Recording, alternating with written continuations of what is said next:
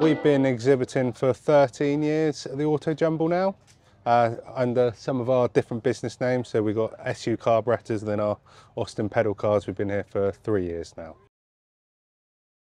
So we make SU carburettors, which are carburettors for classic British cars. We also make Amal carburettors, which are for classic British bikes. And we make all the parts and sell restored Austin J40 pedal cars. It's just a good friendly vibe here. Obviously you get a lot of people who come from abroad to look at the things we sell and uh, yeah, it's just a good weekend to meet and network with people. So this is uh, one of our Austin J40 pedal cars. Um, we do all the parts for them. So we do the upholstery, all the wheels, bumpers, grills, everything like that. Uh, they're classic British made pedal cars. So there's about 32,098 made altogether. So we make all the spares for them and it allows people to do things like the race at the Settrington Cup at Goodwood. Uh, people have them for collector's items and they're just good at a good bit of British history really.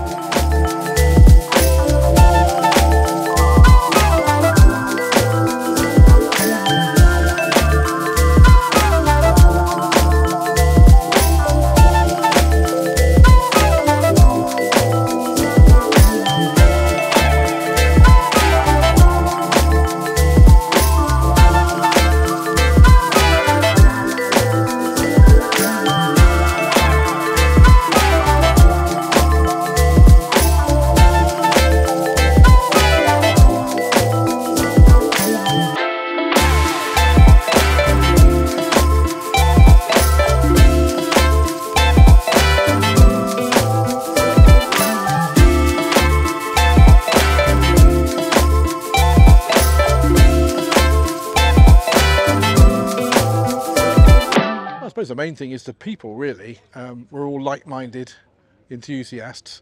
We all collect different things, and people come here for different reasons. But I enjoy the banter.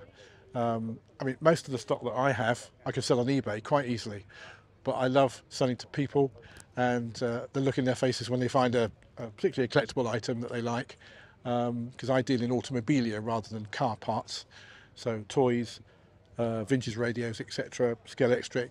Um, and you know, I've done really well the last couple of days. I mean, today's slightly quieter, being a Sunday, but it's a fabulous event. I've been coming as a visitor for over probably 30 years, very nearly, but as an exhibitor, about 15.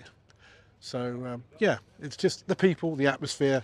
See, I've been entertaining friends and what have you at the stand. They come and seek me out. Regular customers come and seek me out. It's great, great atmosphere.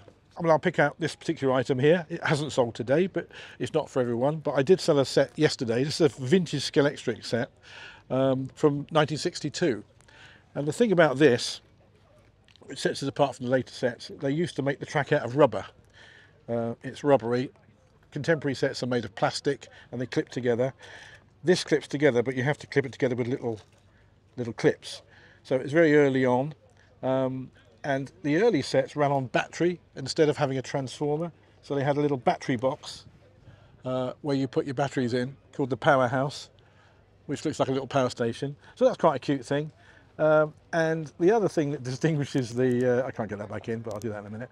Um, the drivers had oversized heads because it's very much a toy, of course. They had large heads compared to their bodies. Um, and uh, they, Scalextric, as they went through the years, started to make them all the same scale after a while. So um, that's what distinguishes an early set. I think that the year after this set was out, they made started to make it in plastic or plexi, plexi track they call that, I think. Uh, and then the heads got smaller. So a useless fact, but Scalextric's guys like that sort of thing, you know, like that detail. We've sold quite a few radios, but this one's quite interesting. If I can bend down. That's two days of standing up.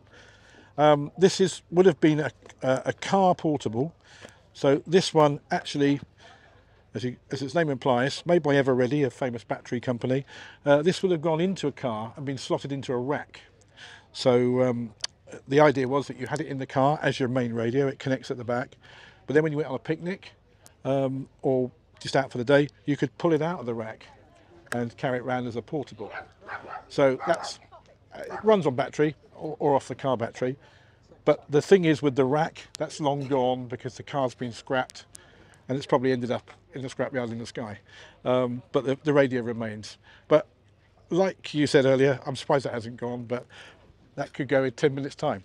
These were plonked on your window. You wound your window down and if you sat in your car on a rainy day and you stick that either on the inside or the outside, and that's for putting a cup of tea on uh, and your sandwiches on the door.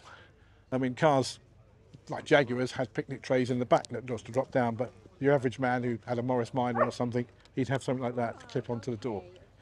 Um, and the rest is just general stuff, really. Uh, and it's surprising what automobilia fans buy.